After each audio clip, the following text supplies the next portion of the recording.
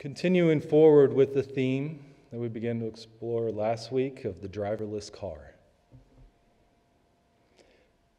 In the language of mind, the language of the subconscious, the language of dreams, a car shows up as a symbol for the physical body. For the same as the conscious mind uses the form of an automobile to get around and do things. The inner self, maybe we could call the soul, sees the form of the physical body vehicle serving the same function to get around and do things in this world.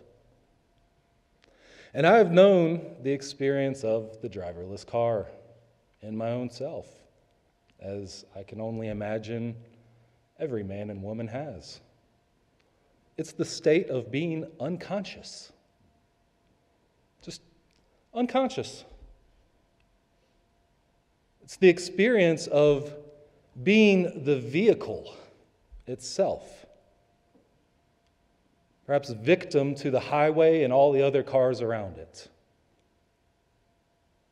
Influenced by all the things that are there to influence us, whether it's a personality design, or astrology or cultural influences or familial, familial conditioning from your family growing up.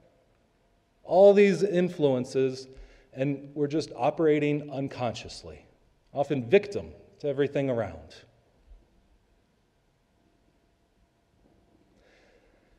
And the moment that we become conscious,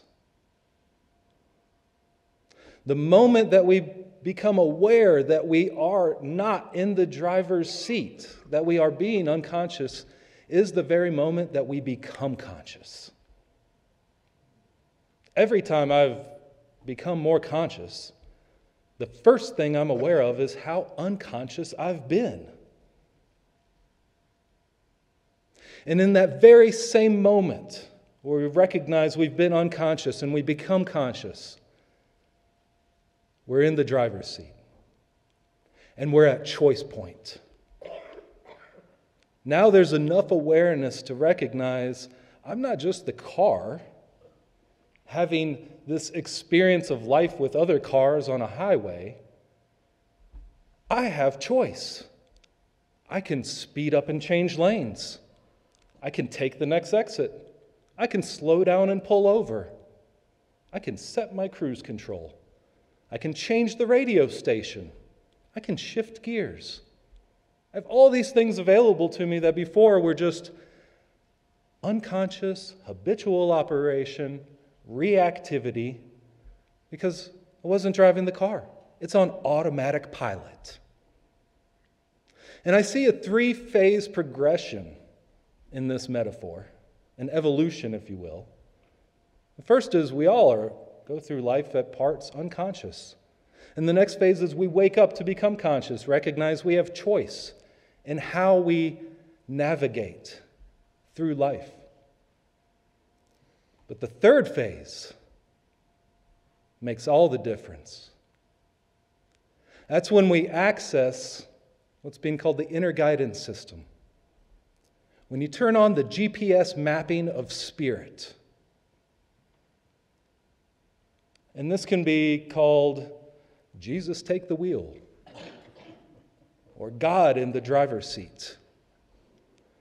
It's when we're able to perhaps cut out the distractions and the busy thinking and hear that always present, still small voice of guidance from Spirit that just like a GPS can see way more than what we can see outside the windshield, it's aware of every closed road, the quickest route from here to there.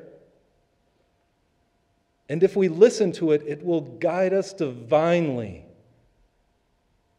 even perhaps guiding our actions and our words, so that we're able to navigate life to the greatest efficiency for the greatest service to bring forth the greatest love through our vehicle on the road of life. And when we achieve that, thy will may be done. Because it's the inner guidance system that delivers to us the awareness of thy will as we tune into and listen and follow that guidance. So may we each move through the progression as evolution has designed. We become more conscious, and then we become conscious of the Spirit within, and let that guide us.